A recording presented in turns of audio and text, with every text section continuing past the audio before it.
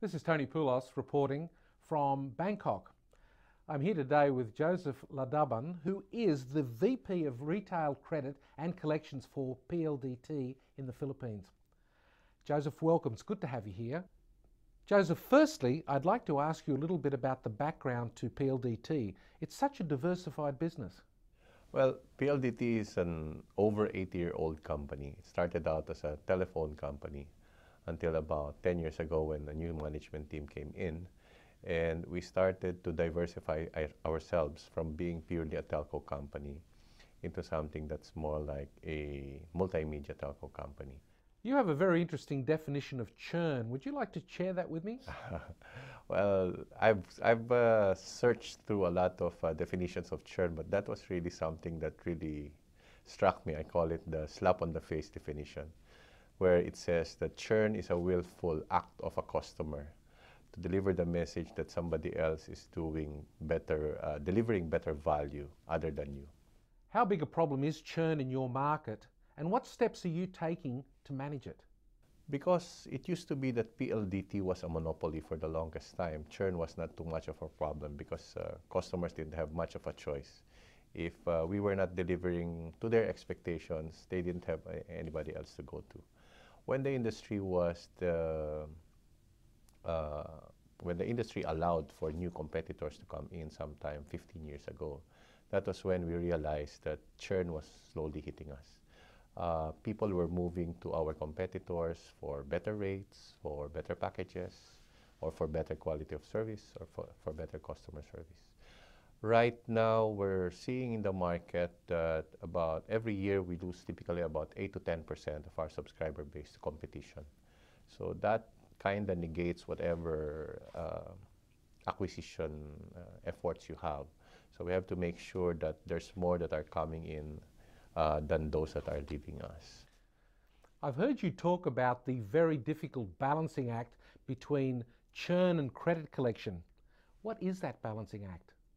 It used to be that both collections and churn management were under my shop. And it was difficult because every time I tightened the screw on collection activities, it almost always results to more churn. Okay? If I become a bit lax in order to improve my churn numbers, almost always my collection numbers suffer. So it's a very dynamic yet complex uh, uh, uh, balancing act. But, but as I've always told my the marketing folks as well as my management, collections can actually be a good tool in terms of controlling churn. Because there are two types of churn, the voluntary and involuntary ones. The involuntary ones is when I tell a customer, I don't like you anymore because you're not able to pay me what I deliver to you. But if I am able to make my collection efforts as regular as possible, such that I'm able to convince you that you gotta pay me now, you, that prevents your balance from becoming uh, unreasonably huge such that you don't have a choice but not to pay So I, I tell them that if I'm able to do my job correctly in terms of ensuring that you pay regularly, I'm able to drive you farther and farther away from the uh, valley of disconnection, the valley of churn. What are the main challenges you face moving forward? For the company, I think the challenge now is to really see through this transition that's happening in the industry. It used to be that landline was the only bread and butter for PLDT until the wireless business came along. It's a good thing that we have this smart communications as our subsidiary, such that when the customer's preference moved from landline to wireline, we are still in the market in terms of uh, being able to make ourselves relevant as a company. However, with the introduction of uh, these new social networking sites and all that, we have seen our revenues severely challenged. Uh, where it used to be that SMS was the killer application, now we're seeing that more and more these social networking sites are replacing the, the SMS as a way of communications in the Philippines. Now, the beauty of it is that we still own the broadband line uh, market.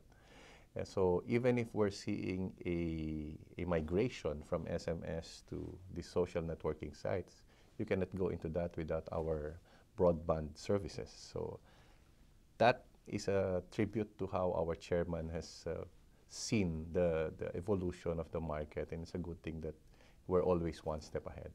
Joseph Ladaban, thank you so much for being with us today. Okay, I appreciate it. Thank you very much.